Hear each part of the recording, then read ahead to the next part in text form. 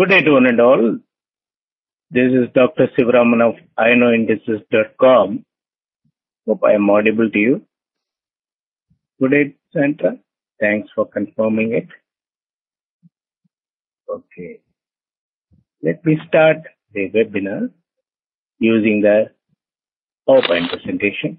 Asian session live market analysis on December 12th between 5 and 5.30 GMT. We will track the market using the live market code page. I go in the link for the same. Let me focus the camera over that of the live market code page. Yeah, now you should be able to see the live market code page. Euro is currently trading around 1.3335, 1.3337. 1.3335 has become the low, 1.3385 is the high, 49 pips negative net change is seen.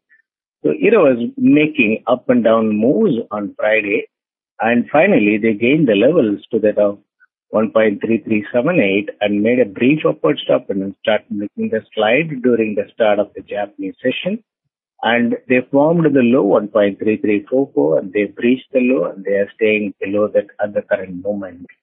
And in the case of GBP, it is holding around 1.5629, 1.5633, 1.5630 was the initial low and 1.5628 has become the new low, but still it is holding around that of 1.56 area in order to handle Euro GBP, which is trading around 85.30, 85.33 level, and 1.5656 is the high, and 38 pips negative net change is seen. But in the case of yen, on Friday it came down to 77.40 area and 77.63, 77.66 are the current levels. 77.57 is the low, 77.68 is the high, and you find uh, almost flat. And when Euro GBP and USD yen are making negative net changes, you find the yen crosses also showing the nominal negative net change of 30 to 40 pips. And Euro yen is showing about 37 pips negative net change. It is trading around 103.55 and it's almost closer to low. And GBP is trading around 121.37, which is closer to low with 28 pips negative net change. So they could make a downward stop and in the case of USD yen in order to make further downward little bit of downward stop and about 20 to 40 pips on the downside then the psychological levels could be seen closer to that and then they are expected to rise from there and in the case of Swiss franc it is trading around 92.69 92.72 92.30 is the low 92.76 is the high 39 pips positive net change is seen then euro is making about 47 pips negative net change. USD CHF is showing only 39 pips positive net change. So they are holding USD CHF, not gaining much level corresponding to that of the drop in the case of euro.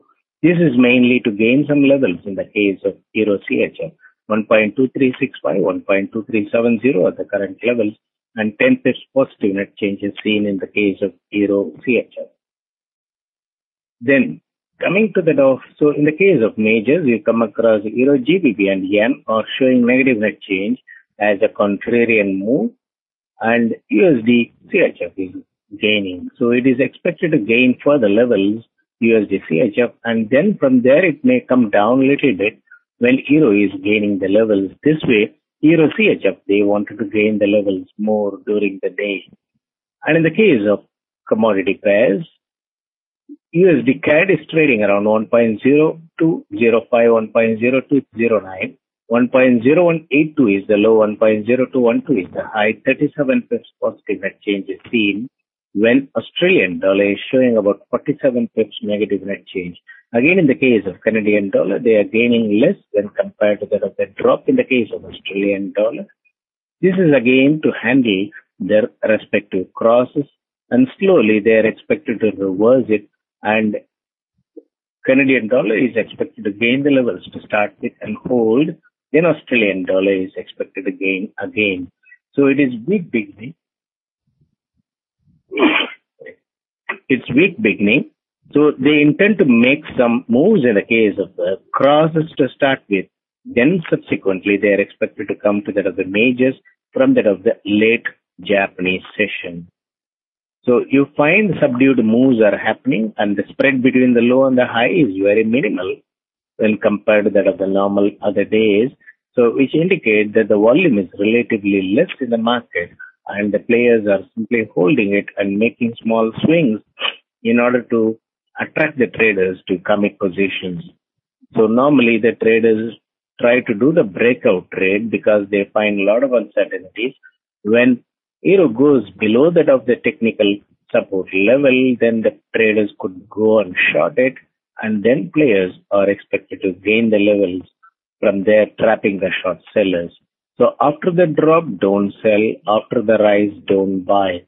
If we try to do that breakout trade, the players are uh, now uh, more frequently making the upward and the downward stopping, mainly to trap the breakout traders because predominant traders are doing breakout trades and that is why they are trying to do this sort of moves. Let me go back to that of the PowerPoint presentation.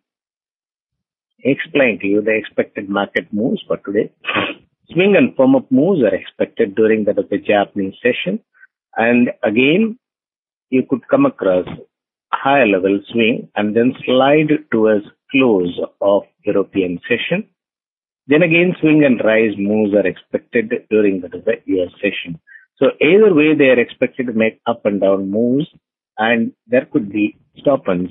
Now they are doing the downward stop-in and they are expected to gain above that of the initial lows very shortly and then start expected, I mean, they are expected to gain the levels during the early European session and then come back during the, the late European session, giving the feeling that the market or Euro and GBP, they do not have the strength to go up. Then afterwards, when the traders go in for a breakout trade towards close of European session, on the downside, the players are expected to accumulate them and try to gain the levels quickly during the, year session. So I have already given the expected market moves in my blog, iknowindices.com slash blog. And once this webinar is being recorded, it will be posted in fxstreet.net and also in FX archives. You will find the webinar and you can also review it, how exactly the market is expected to behave during this particular week. From time to time, you can cross check and find out. Then with regard to the expected market moves for the rest of the days in this particular week, tomorrow you could come across more volatile moves less drop and more gain moves are expected to happen. So every session we could come across a dip and then quick rise to a close of the session. That sort of moves are expected tomorrow.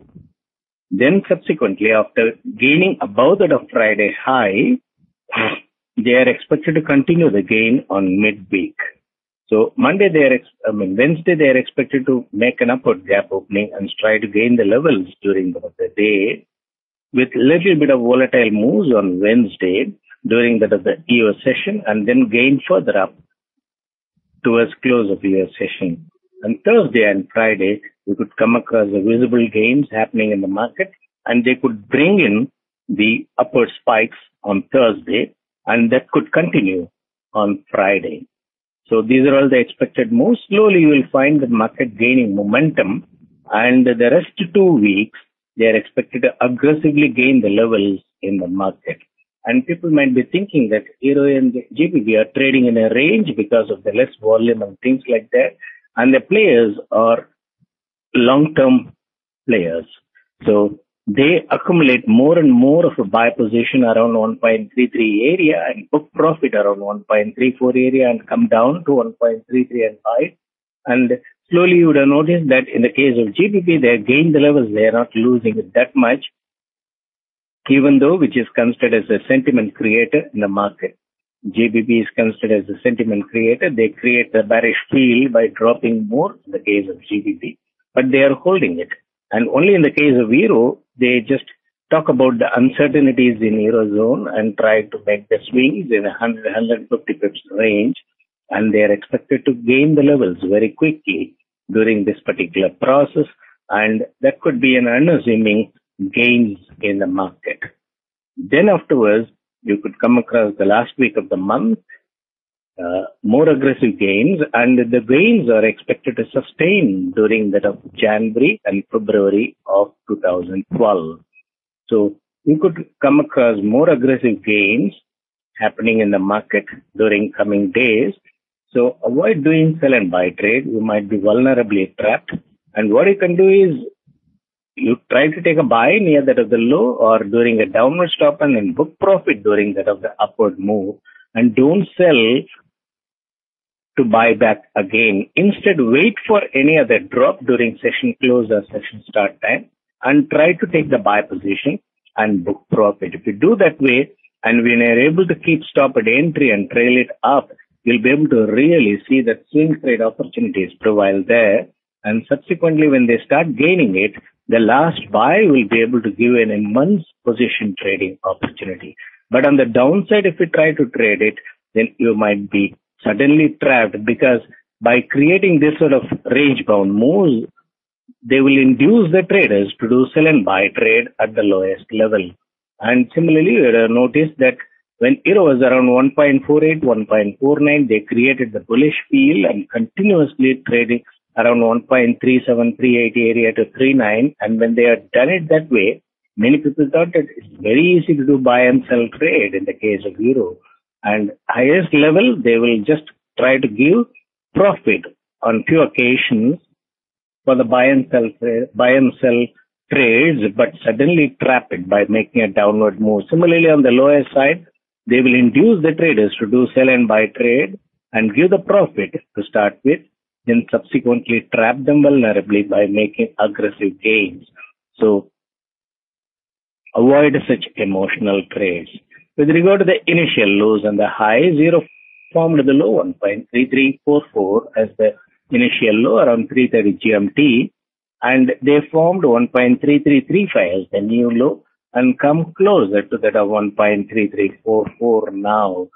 So it has come to 1.444434, I mean 1.3341, 3343 are the current levels and they are expected to gain slowly the levels above that of 1.3344 and sustain there and try to go above that of the high and make an upward stop and, and then try to make the slide during the, the late European session and then continue to gain the levels.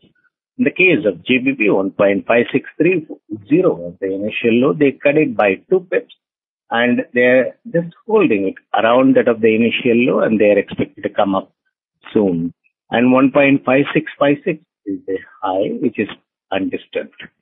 Then in the case of CHF, 90 to 30 is the low, and 90 to 69 was the initial high, and they breached the high and formed 90 to 76 as the new high, about 5 pips above, and they are holding around that of the high.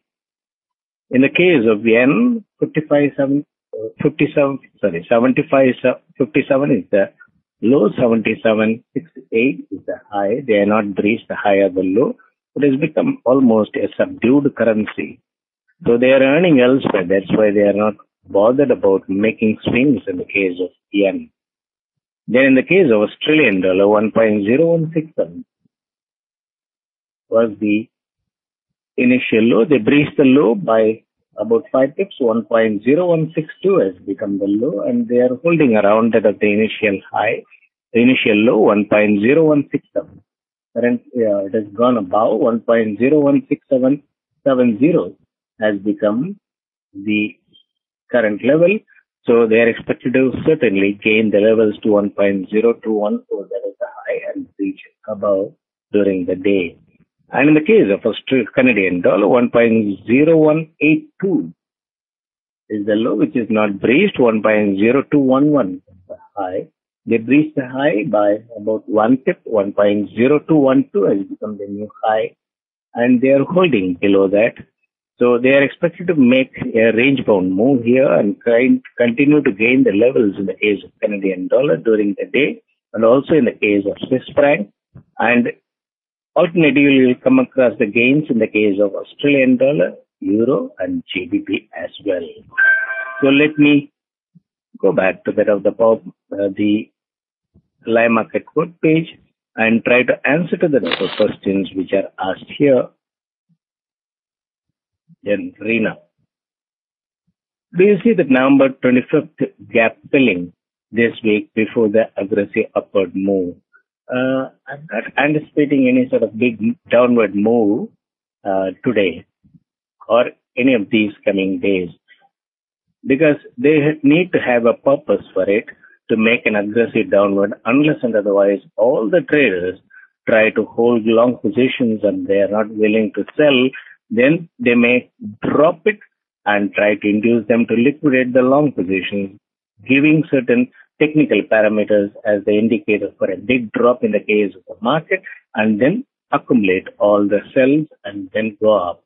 But the way in which the market behaves last week, I was in a position to understand that after the gain, the traders are buying it, expecting further gains quickly, but then they are just dropping the market and induce them to liquidate the long positions. So, but the traders are not shorting. That's a problem. So we should come across some interesting aspects coming in.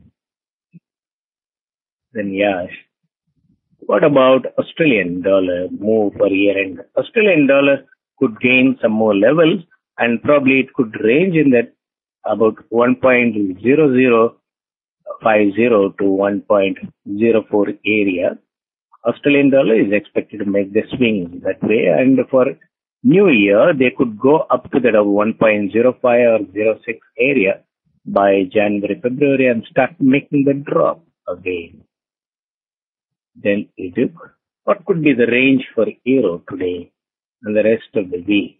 Euro downside is limited according to my understanding. Probably they may make a brief down stop unlike what they have done it. But the upside potential is great and they could use any trigger just to gain the levels. And only thing is, you have to see whether they are sustaining the highs. And sustaining the highs, uh, normally people used to go with that of uh, the closing level. But they simply pretend as if they can close higher and the next day they can drop it like this. So ultimately what you need to see is, are they buying at the higher level? Are they booking profit or buying at the higher level when all others selling? So that we need to observe that that could trigger the market to go upward. I will give that uh, information as and when that sort of observations are made in the market. So euro has got a potency to go to 1.3738 area very soon but the volume could be a constraint for the market to make quick moves. So we have to be patient looking for such moves. Till such time, you can only do swing trades. In Matthew, for the prolonged period, players holding euro and GBP on the downside within a range. Will they do any extended downward move before reversal? Uh, that sort of extended downward move could happen uh, only during month end, not during the, the month mid month. So now we are in the mid month, so that sort of extended moves are not expected to happen. Either they should have finished it by first week. They are not done it. So they do not want to drop and give profit booking opportunities for the short sellers as well. And those who sell after the gain they might be able to see the next day some profit. But otherwise, people don't hold the positions that way. Sell on Friday and try to cover it on Monday. They don't do it. So obviously the players are just inducing the short sellers to do the short covering on Friday and those who buy with a bullish feel or hold the Friday position, long positions to close it at a higher level on Monday, they just drop it and hit their stops on the downside and then continue the. Do you anticipate euro uh, nearing parity? Parity is 1.000, not 1.30, or last month low of 31.38. No, I'm not anticipating, honestly, because we are expecting the market to come up, but they are acting against us on showing down, down. No, because you lose patience. That is why you come across, you get the feel that it is coming down, down. But after the game, they lose only the gains. But they are not going to that of the lower levels strongly. So this is basically testing the patience of the traders, inducing them to do the sell and buy trade. So next time when they go to 1.34, the traders will freely sell. That is how they want the traders to develop the insight and then trap them and induce them to do the short covering around 37, 38. This is the type of game they do it on a daily basis. No, they test the patience of the traders and the impulsive traders uh, lose the patience and try to do the reversal of that what they envisaged earlier and get trapped. And you know that some of the traders who have got the double up concepts that they buy and if the market drops, immediately they sell double the quantity in order to earn back.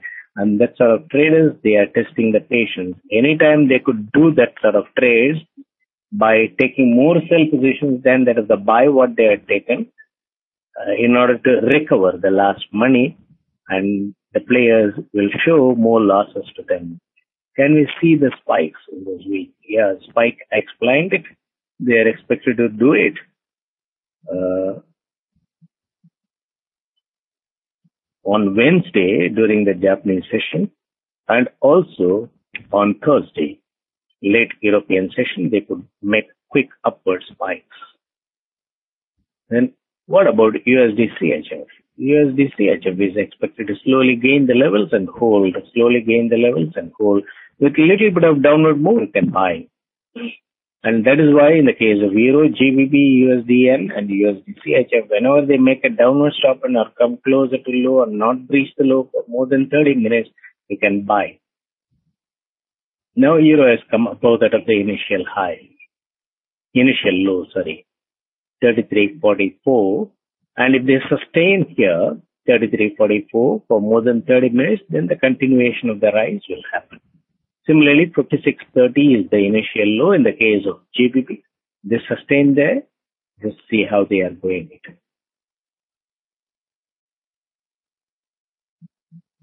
Then Chan, USD CAD. Can we see it go beyond 1.35 this week? Yeah, the potency is there, but it all depends upon the volume and how they are handling. See, whenever the volume gets reduced, they are handling the crosses. So you find predominant of the time they are handling the crosses. So that shows that really they are wanting the volume to pick up in order to make good moves. Infusion. I am from India. Okay. Glad to know that. And Francisco, in case of gain, which currency would be stronger and create the sentiments, Euro GBP or Australian dollar? And we know that Australian dollar, the commodity pairs are expected to lead the rally and lag behind. So initial leading, you can bet on Australian dollar and continuation of the rally, you bet on Euro and GBP. That's what I could suggest. After the gains of 1.03, don't long Australian dollar then it might become a risky trade, high level buys. In Balu, what will be USD INR? INR, they are just uh, gained the levels for the week beginning. So around 52 area, 52, 34, 52, 35 are the current levels. And they are expected to uh, make it stronger. That is, uh, USD INR is expected to come down in this particular week. And next week we'll come across INR trading below 150. Then fusion. How Australian dollar depend on metal commodities. See, the Australian dollar is known to be an exporter of metals and especially gold, etc. So Normally, their strength and weaknesses are related to that of their exports and also the strength and weaknesses of their respective commodities. That is why Australian dollar and Canadian dollar are referred as the commodity pairs because their moves are supposed to follow the commodities. Then Shands, Euro CHF, is it likely to go to 1.25 area soon? Euro CHF coming down to 1.25 area, yes. It is expected to go up to 1.25 and there could be a target of 1.30 soon in the case of Euro CHF because the way in which they are holding the Swiss franc around 92, they are doing a prolonged consolidation here because euro is also under the consolidation. They are expected to gain the levels in the case of USD CHF very nicely suddenly. In the name of intervention or any other news, they could suddenly make it. Then Irish effect Greek. They expect Australian dollar to go to 1.05 near end of the month. Uh, end of the month around 1.03 to 04 area. And then afterwards, next year, January, February, it can go to 1.06 area.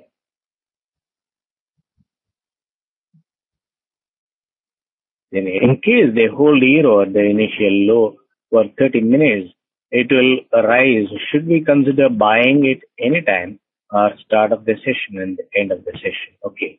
Now euro has made that downward stop and and come above that of the initial low 33.44 and it has to sustain. And once it sustains, by the time it is 526 GMT now, and you know that uh, uh, the Europe, the Japanese session gets over by 7.30 GMT and the last one and a half hours from 6 to 7.30 GMT will be the late session. So during that late session, you can buy around that of the initial low and try to book profit. In the mid session, when, while handling the process, they make a downward stop and stop cutting the low for more than 30 minutes, then you can buy and use the hedging order to limit the risk and try to keep stop at entry once the position makes a profit of 20 pips or more. So systematically, if you do that, they stop you out, no problem because you don't lose any money on that and again re-enter the market when they show a new low or closer to low or come to that of the new low and then don't breach it for about 30 minutes. That means it's a false move to move upward very quickly. And that time, if you try to buy it, you'll be able to see quick moves. See, in the mid session, you can buy, but only thing is they will hold it and test your patience. But late session, they'll be very active probably you might be buying around 33.45 or 33.49, but still it might be all right because quickly they are expected to gain the levels to as close of Japanese session. At that time, you can keep stop at entry and book 20, 30 pips profit. And gap time move you watch and then follow the European session. So that way, if you try to do it during the session start and session close time, then you'll be really benefiting from that rather than trying to take at the mid level, mid mid session. It might be good to take a buy position around 33, 35. Only thing is you have to wait for them to rise. And that may take about two to two and a half hours. Then you may lose patience. Always see that your patience is not tested vulnerably by the market. So for that, your entry time and the exit times, or with regard to session start and session close duration, then it will be uh, really a quick trade for you. Then iris. That means we should expect upward trend move uh, by both December, January. Yeah, by both December, January, and February, the upward move is expected to happen. And Shane, any view as New Zealand dollar for the year end to paperize? Yeah, that is possible. Because when Australian dollar starts gaining, New Zealand dollar is also expected to gain. And you know that in order to handle Aussie New Zealand dollar cross, they gain more sometimes in the case of New Zealand dollar because a lot of traders go in for a shorting at that time, then they make an upward stop and for to hit their stops before making a slide. That is how, because Australian dollar, I mean New Zealand dollar, the uh, volume is relatively very less when compared to of Australian dollar, and that is why they are known to make more volatile move in the case of New Zealand dollars. So virulent currency. So no more questions. So let me go back to that of the PowerPoint presentation.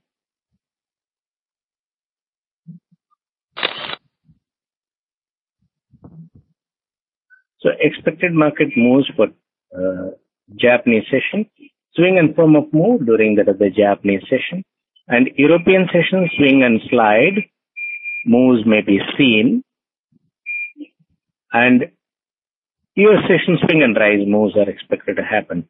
So if you buy now, then try to book profit during that of the early or mid European session. Then again during the late European session slide, you buy and try to close it during that of the US session rise. That way you can try to do the swing trades for today and tomorrow you could come across again volatile moves in the market. And whenever they make a quick drop, buy. Whenever they make a quick rise, book profit in that. And in the low volume condition, they are bound to make this sort of either way stop and moves in order to earn their money. Ultimately, you know that the players are here to earn money, not uh, getting any reward by showing extreme levels and things like that. So ultimately, they are working for money. So we should also work for money in trading rather than having a sentiment and feeling pity that why euro is so weak and things like that. But that is not going to give us any sort of benefit and we have to only look for the trading opportunities rather than worrying about the respective countries. And with regard to the initial lows and the highs, Euro formed the low 1.3344. They breached it and come closer to low, initial low, and they are still holding below that.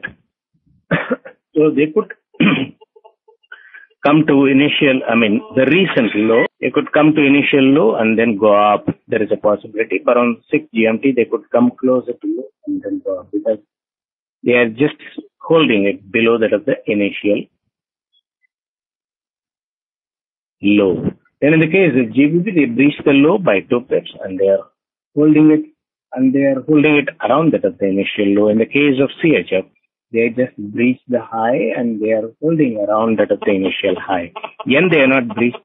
In the case of Australian dollar, they are just holding around that of the initial. They have come up above that of the initial uh, low. It indicates that commodity pair is leading the rally and Euro and GBP are expected to go up and high is not breached. Very soon they are expected to breach the high in the case of Australian dollar. Canadian dollar uh, is not breached the low, but they breached the high, and still they are holding below that of the initial high. They could make swings here and then continue the rise upwards. So these are all the observations I could make now during the start of the week.